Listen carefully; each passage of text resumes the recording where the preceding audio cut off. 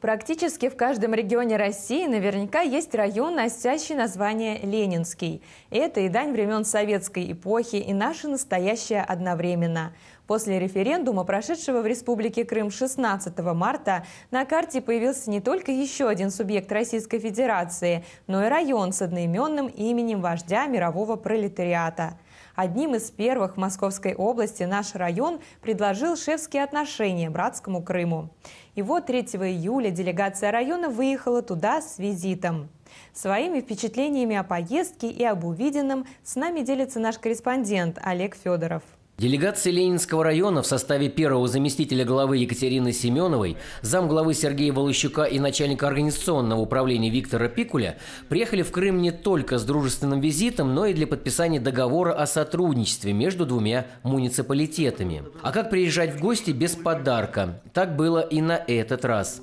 Наша делегация привезла с собой для районной больницы аппарат искусственной вентиляции легких, но обо всем по порядку.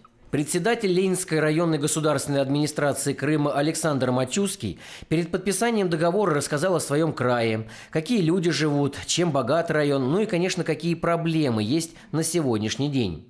Наша делегация привезла с собой видеофильм о районе, и жители, которые собрались в актовом зале, смогли воочию увидеть все красоты нашего Ленинского района. Екатерина Юрьевна, рассказывая о нашем районе, сказала несколько теплых слов и о взаимной дружбе между народами. Э, наш порыв и наше предложение было вызвано именно тем самым желанием дружить всегда, помогать всегда друг другу всем, чем мы можем, делиться то, что мы смогли сделать сами, и оказывать поддержку самым нашим близким людям. И вот торжественный момент передачи двухстороннего соглашения о сотрудничестве между двумя ленинскими районами.